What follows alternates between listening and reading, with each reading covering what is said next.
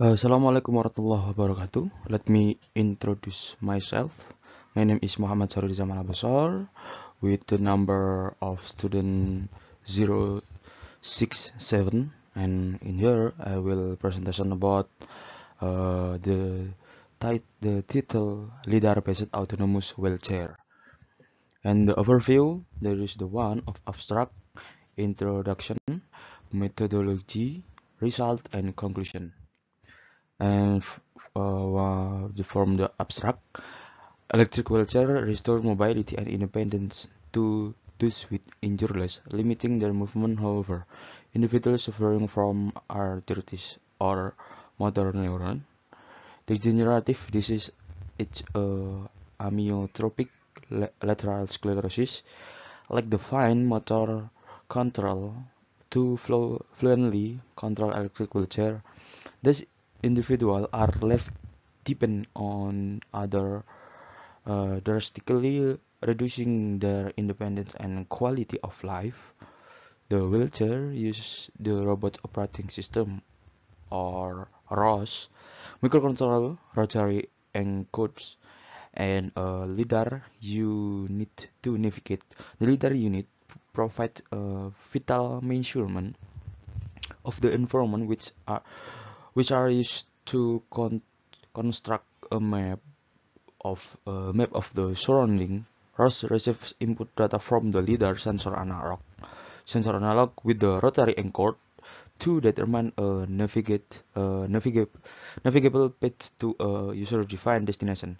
The navigation system is designed to adapt to change in the environment and route the wheelchair if new obstacle emerge and introduction since their advent in early 6 uh, 1900 electric wheelchair have helped individuals re uh, regain their lost mobility from injuries. Traditional and, and electric wheelchair is controlled by a joystick mounted on uh, arms of the chair. However individuals suffering from neurodegenerative disease such as amyotrophic lateral sclerosis Individual with ALS lacks uh, the fine motor control to use a traditional joystick-controlled wheelchair, leaving them immobile for long periods time of heavily depend on other for mobility.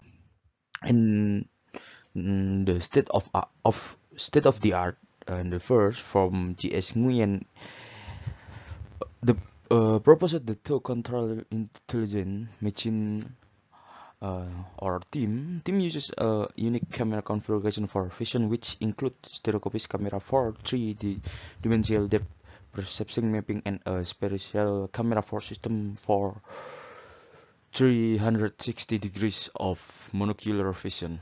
And from we uh, proposed a steady state visual evoked potential based uh, BCI wheelchair to navigate.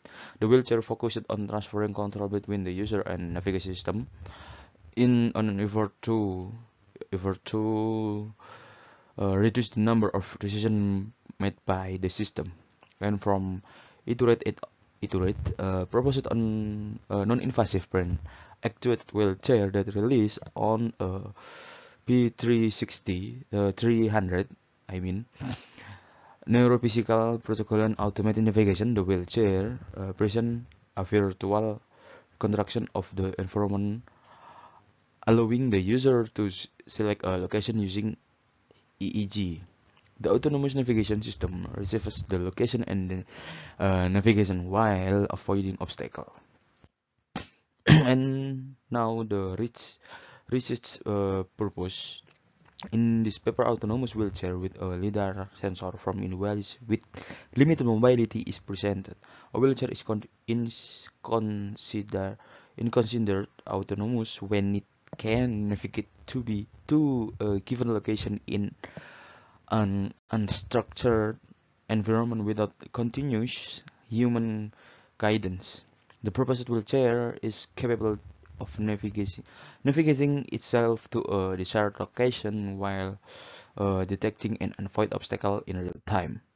And the methodology for the LIDAR uh, unit is primarily used to create two to uh, 2D map of the current surrounding as well as dynamically uh, detect obstacle in route to destination. It is only capable of scanning on a horizontal plane at uh, height above the user sitting on the chair. Therefore, obstacles below the height of the lidar, uh, the lidar unit, are unaccounted and not represent, uh, represented on the map. And uh, this is a mechanical system of robot operating system. The robot operating system is an open source platform that's uh, run on top a Linux environment and provide a flexible framework from writing robot software. The robot operating system or ROS uh, running on a laptop receive the laser scan data through uh, through a USB connection. Same in uh, in this figure. ROS then can create a map using the laser scan data implemented through a SLAM algorithm. And this is uh, the result. The wheelchair was manually using the joystick navigate slowly through, uh, through the hallways. Hallways from the starting point to to the destination. Through visual inspection, it was determined to to uh, determine the resulting map were uh, sufficiently sufficiently accurate for the trial. The case one map is is the construction to the to test the navigation system in cooperation with the map design, whereas the case to map is formed to test the responsiveness responsiveness of the navigation system in an environment with, with dynamic and static obstacle. And from result, uh, test run were con conducted in an environment to fine-tune parameter of the navigation system and obstacle mapper solution. In case one, uh, 10 trials were conducted to test to test the navigation for comparison to see in the left picture. Results from this trial are shown in the table 1. In case 2, 5 trials were conducted to test the responsive of two uh, of the navigation system in an environment with dynamic and static obstacles see in the right picture. And our discussion, case 1, the large variation were in the time metric and metric uh, as there was a range of 20 seconds between the best and worst time, comparing to the result and uh, seen in the table right.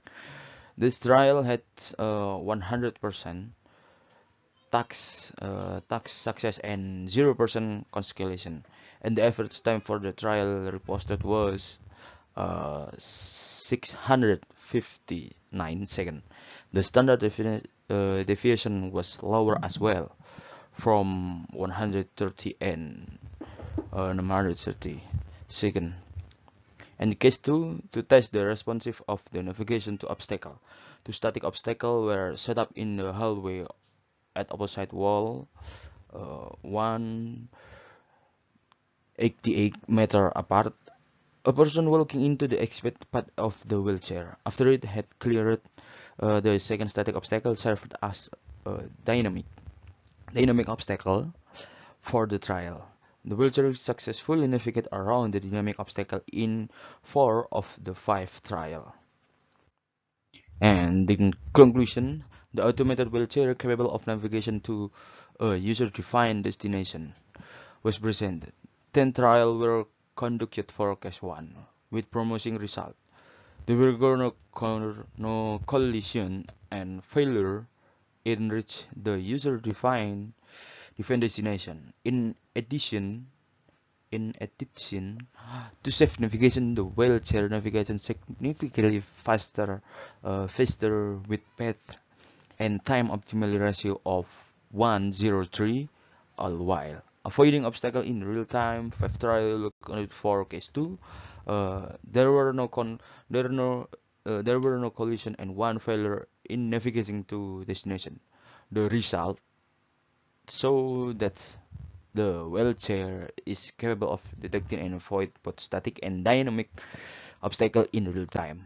And from uh, reference from our, our jour- journal from EAA EII Sensor Application Symposium and added to IEEE Xplore and Electronic and the DOI from Entrance Journal. And thank you. Uh, this our presentation. Sorry about if the there is a wrong or false my my word in this presentation. Thank you. Assalamualaikum warahmatullahi wabarakatuh.